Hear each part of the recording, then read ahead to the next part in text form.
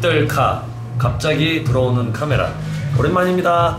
여기는 지석이와 강훈이의 화보 촬영장입니다.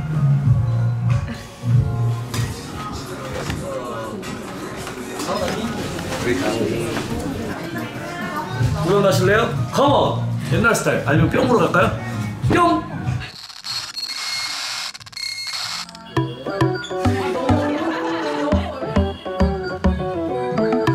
철저한 자유관리하고 있습니다. 어, 드라마 우리 종렬 역할을 하면서 살을 좀 많이 찌웠었기 때문에 조금 다이어트 겸 식단 관리 겸 운동 겸 해서 조금 어려지려고 다이어트 하고 있어요.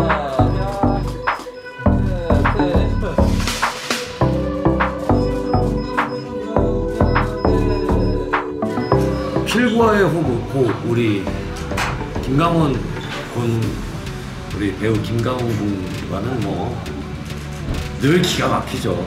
그리고 늘 제가 반갑고 볼 때마다 피 한 방울 섞이지 않았지만 마치 정말 피가 섞이는 마치 제가 아빠는 아니어도 큰형 마냥 아주 반갑습니다.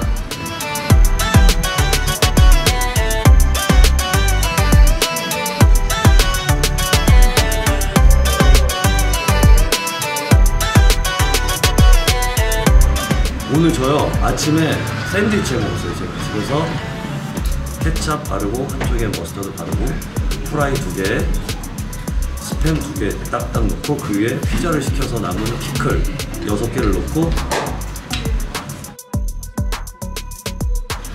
에, 정신이 그래도 건강해야 다이어트도 가끔씩 가능한 거거든요 적당한 밀가루는 여러분의 삶의 행복을 왜?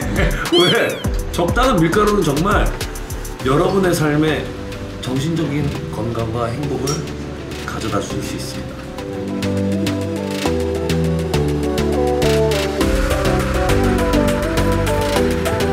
다문아 보고 싶었어. 널 보니까 효진 누나가 보고 싶네.